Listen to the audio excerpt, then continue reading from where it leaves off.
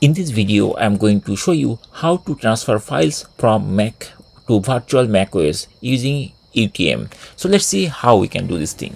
So at first we need to create a folder where we want to share everything. So I'm going to access downloads folder on my main Mac.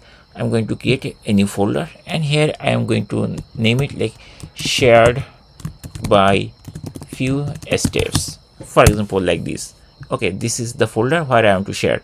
And we can put some file. Suppose i want to uh, keep this file here inside it. So i'm going to paste it over here. Suppose one file is there. Now our folder is ready. Now we need to go to UTM and this is the mac os which is virtual mac os i'm going to configure this thing. At first i'm going to click the settings icon. And here it will bring like this. So here we will find different menu options are there.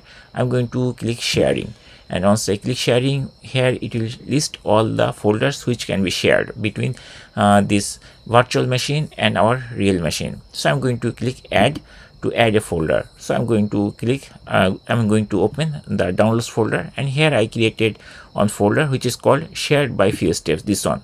And then I'm going to I'm going to actually configure it by pressing this open button.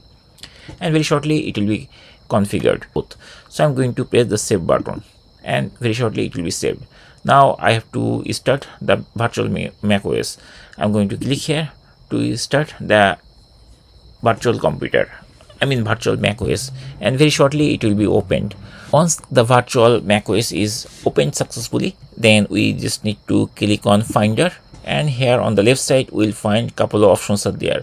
We have to come to my shared files. I'm going to click here and here i see the folder is there. So this is the same folder which i actually uh, shared i mean created for this this thing shared by few steps. And here i see this is the same folder. And if i double click we'll see this is the folder. Now we can copy this thing uh, from here copy and put it on the uh, virtual mac os so i'm going to paste it by control v control pressing v. And here it is actually showing that file.